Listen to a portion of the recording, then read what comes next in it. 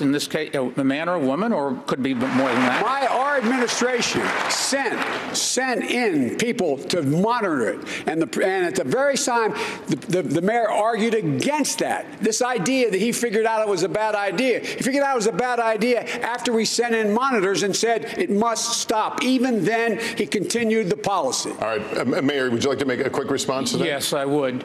Um, I am very proud of the fact that th- about uh, two weeks ago, we were awarded, uh, we were voted the um, most, f- fe- the, the best place to work, second best place in America.